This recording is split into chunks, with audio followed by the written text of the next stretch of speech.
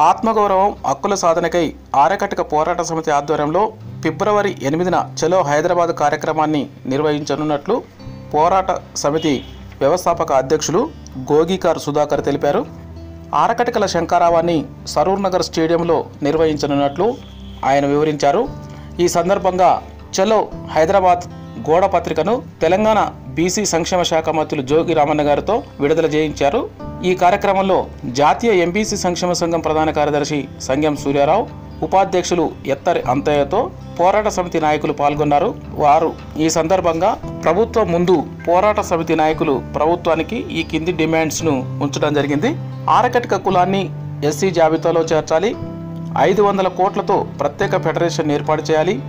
కసాయి కటిక పదాలను వాడి ఆరకటిక వారిని కించపరిచే వారిపై చట్టపరమైన చర్యలు తీసుకోవాలి.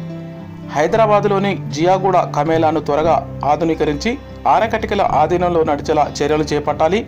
ఆరకటిక కులవృత్తిని ప్రోత్సహించడానికి తగిన ఆధునిక వసతులతో అన్ని జిల్లాల్లో మండీలను ఏర్పాటు చేయాలి. ఆరకటిక వృత్తిని కొన్ని ప్రైవేట్ సంస్థలు దోచుకుంటున్నాయి.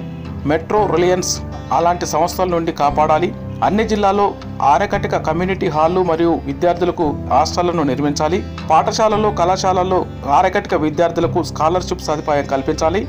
కులవృత్తిపైన ఆధారపడి యాభై సంవత్సరాలు పైబడిన వారికి మూడు వేల రూపాయల పెన్షన్ సదుపాయం కల్పించాలి. ప్రభుత్వ సహకారంతో ఆరకటికలకు హైదరాబాద్లో ఆరకటిక భవనం నిర్మించాలి.